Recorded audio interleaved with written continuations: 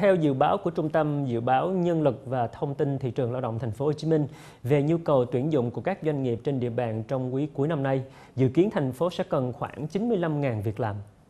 Thành phố Hồ Chí Minh sẽ có khoảng 65.000 chỗ làm việc toàn thời gian và 30.000 nhu cầu lao động thời vụ. Các nhóm ngành nghề có nhu cầu tuyển dụng như công nghệ thực phẩm, chế biến thực phẩm, công nghệ thông tin, bán hàng, bảo hiểm xã hội, quản trị nhân sự, kế toán kiểm toán. Nhu cầu lao động thời vụ tập trung ở các nhóm ngành như kinh doanh bán hàng, dệt may, dịch vụ du lịch nhà hàng khách sạn, dịch vụ phục vụ như bảo vệ, giúp việc gia đình, nhân viên giao hàng nhanh, tạp vụ vân vân. Ông Trần Anh Tuấn, Phó Giám đốc Trung tâm Dự báo Nhân lực và Thông tin Thị trường Lao động Thành phố Hồ Chí Minh đánh giá nhu cầu thị trường lao động thành phố những tháng cuối năm đối với các ngành nghề kỹ thuật tương đối ổn định. Ngược lại, do năm nay Tết Dương lịch và âm lịch cách nhau không xa, cho nên nhu cầu lao động thời vụ cho yêu cầu sản xuất kinh doanh cuối năm và chuẩn bị sản xuất kinh doanh hàng Tết Đinh Dậu 2017 sẽ khá sôi động.